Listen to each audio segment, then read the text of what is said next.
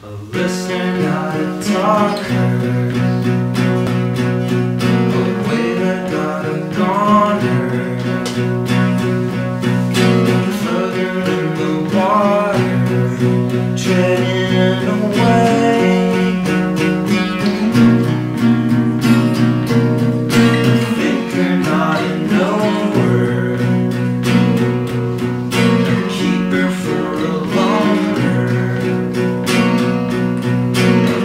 without a holder, somewhere to stay.